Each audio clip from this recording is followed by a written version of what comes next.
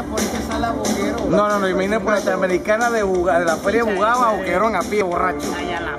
Me metí un rastro antes de llegar al cruce de Boquerón y me volaron una de bala, compa. Yo iba a dormir el rastro allá. Fue la que dije, oh, fuego artificial. eh.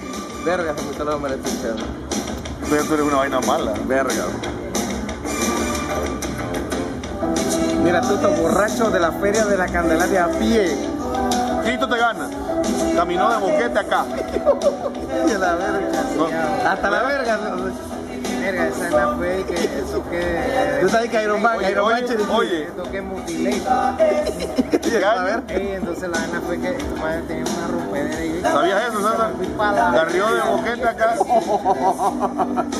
El judío errante, ¿verdad? Salí que a las 11 de la mañana y a 11 de la Verga.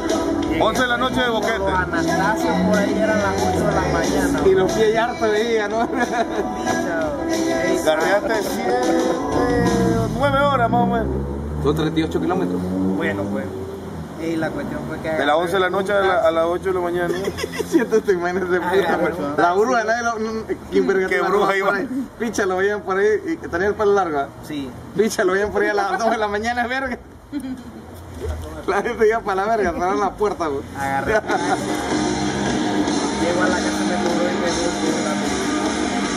Está, está barato.